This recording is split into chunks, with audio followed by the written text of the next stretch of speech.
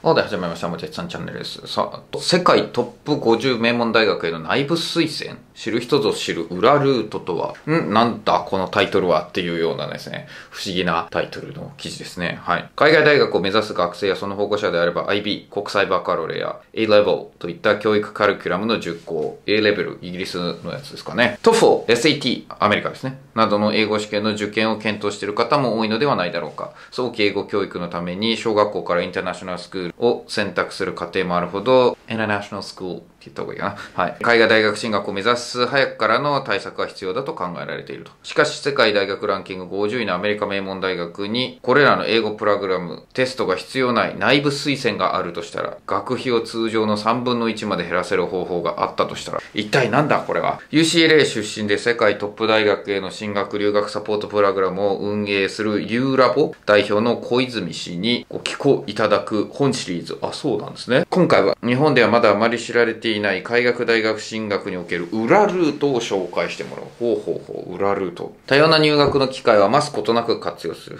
入試改革を経て日本の大学でも様々な入試形態が登場している。一昔前は一芸入試など揶揄されていた AO 入試も2021年度から総合型選抜に名称を変え、市民権を得るようになった。指定校推薦を含む学校推薦型選抜も受験生にとっては馴染み深いものだろう。うん。嫌いな人も多いですけどね。特に私立大学では半数以上の入学者が一般入試を受けず、何らかの推薦制度を使って入学しているというデータもある。まあそうですね。もう半分が推薦じゃなくて半分以上が推薦になってますからね、今はね。とはいえ、これは学部1年時での入学が暗黙の了解となっている。一方、世界の大学には日本に存在する以上に様々な入学方法があると。最高の学びを得るために進むべき多様な道が用意されているのだ。海外大学の編入制度とは、お、編入の話かな？その中で今回紹介したいのは3年次編入制度。日本にも制度自体存在するものの、もちろんメジャーではない。途中退学者の欠員時補充の意味合いもあるため、どの大学でも募集人数を少数に設定していることがほとんどだ。うん。3年次入学の対象となるのは専門学校、高等専門学校卒業見込み者、短大卒業見込み者、4年生大学の2年次修了者及び卒業者のいずれか。はい、そうですね。日本の場合、大学在籍者数に対し、編入制度を利用して入学した生徒はわずか1%にとどまる。そうですね。これはまあ、ちゃんと売りにしてる専門学校も実際あるし、短大もありますね。うちの専門学校はとかね、うちの短大は、この大学に編入させてますよとかっていうのはよくあるよね。一方、世界において編入学はメジャーな進学方法として地位が確立されている。とりわけ今回詳しく紹介するカリフォルニア大学バークレー校以下 UC バークレーやロサンゼルス校 UCLA では入学全体の約3割が編入者と言われている。言わずもがな UC バークレー、UCLA は共にタイムズハイヤーエデュケーション THE、あ、そうですね。やりましたね。世界大学ランキング。で、それぞれ8位と世界20位を獲得した人気校であると。そう。その通りです。ぶっちゃけそうです。だから私の周りもいっぱいいます。そうやって編入で入った、あまり英語ができない人たちいます。カリフォルニア大学における編入制度は、日本人にとって多くのメリットがあることをご存知だろうか。まさに裏ルートも言える編入制度について、そのメリットの中から3つを紹介しよう。裏ルートになっちゃってんだ、これ。いや、もう中国とか韓国だったら当たり前ですよ。これみみんなじゃないけど、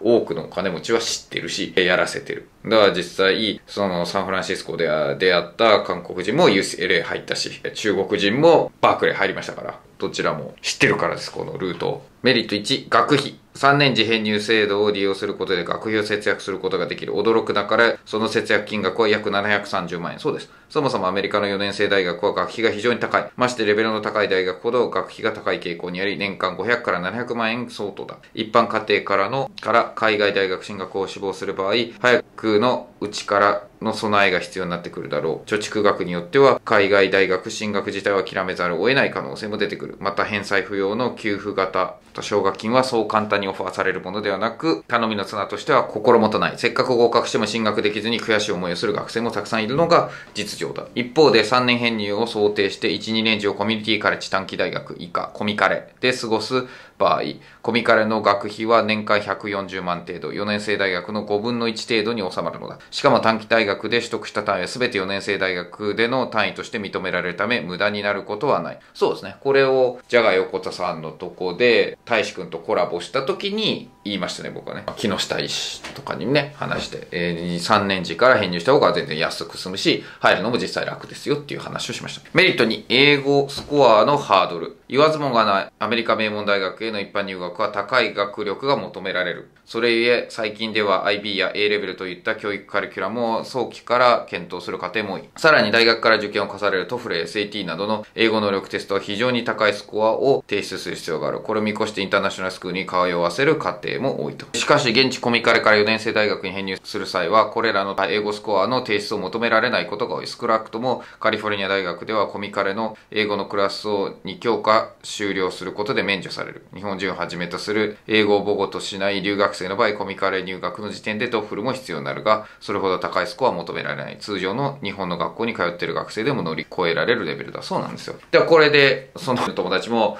中国人の友達も英語、まあ、お世辞にもできるとは言えなかった。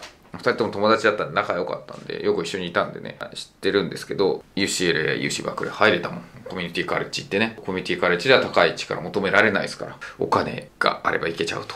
もちろん、早い段階から進学に向けて英語対策をするに越したことはないが、万が一伸び悩んでるからといって、海外名門大学進学を諦めなくてもいいことを知っておいてほしい。メリット3、合格枠の多さ。編入制度と聞くと、日本国内の大学のように毎年若干名程度の受け入れ枠しかなく、特殊な入試方法だと思われるかもしれない。しかし、世界では編入学は極めてメジャー。カリフォルニア大学では、毎年3万人もの編入生を受け入れていると。カリフォルニア大学に進学する全学生のうち3分の1は編入生というのだから驚きだ。さらに、カリフォルニア大学の公式発表によると、1年時入学生の卒業率が91%であるのに対し、3年次編入生の卒業率も92%とほとんど差がない。卒業することが難しいと言われる海外大学にあっても編入学だからといって学力が劣ることはない。学力が劣ることはないかはわからんけど、英語力は劣ることが多いね、残念ながら。カリフォルニア大学とカリフォルニア州コミュニティカレッジの両大学は2018年4月に締結された編入学の強化に関わる覚書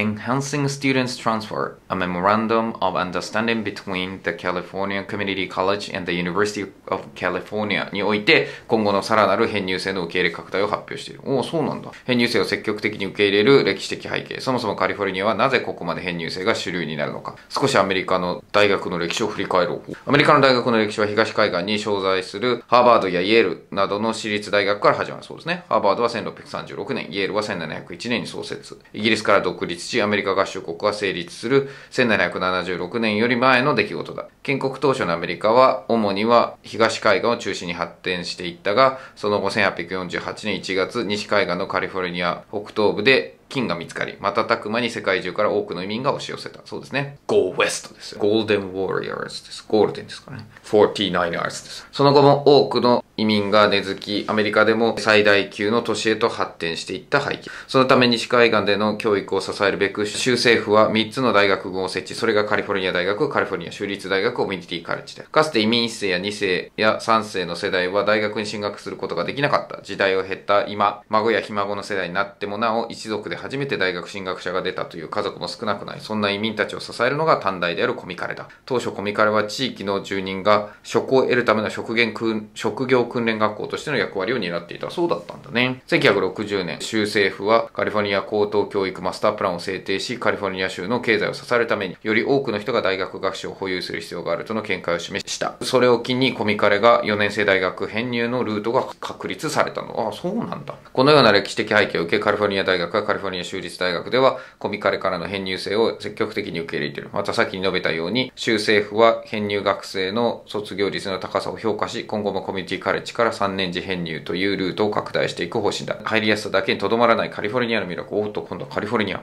もちろんこの3年次編入制度は他の州の大学でもしており、例えばワシントン州では地元の短大からワシントン大学への編入ルートは存在する。しかし次の理由からカリフォルニア州の編入学をお勧めしたい。名門大学を目指すにあたり、一つの指針になっているのが戦術の世界大学ランキング THE に関して言えばカリフォルニア州だけでも6個上位100にランクインしている。カリフォルニア大学全校には1つの願書でエントリーできる。世界大学ランキング上位の受験機会を一度に得られる大学は他にない。さらにカリフォルニア州立大学も23校と豊富に用意されているため、万が一第一志望に合格できなかったとしても充実した選択肢が残されているのだ。あ、これは言われてたね。大学があまり多くない州では上位校を逃すとランキングを大きく落とし進学せざるを得ないこともある。合格優先権。州立大学は基本的に州の税金を納めている人たちやその家庭をその家族を教育することを目的としている。そのため大抵州民のみで大学の受け入れ可能性、受け入れ可能性と数が埋まってしまう。他州及び留学生が1年時からカリフォルニア大学に入学するのは至難の技なのである。ああ、はいはい。一方で日本人留学生であってもカリフォルニア州のコミカルからの出願であれば、州民と同様の扱いで合格優先権が与えられると。まあ払うお金は違うんですけどね。住みやすさとその後のキャリア。カリフォルニア州は住みやすく留学に適した環境だ。気候も温暖で晴天が続くので過ごしやすい。日本人も多く、アメリカの中では治安の良い地域とされることも。日本人留学生にとって安心の材料だ。さらにシリコンバレーやハリウッドなど巨大産業があり、卒業後の進路という意味でも恵まれている。これは場所によるでしょう。だってカリフォルニア州だけで日本より大きいからね。全然気候も違うよ。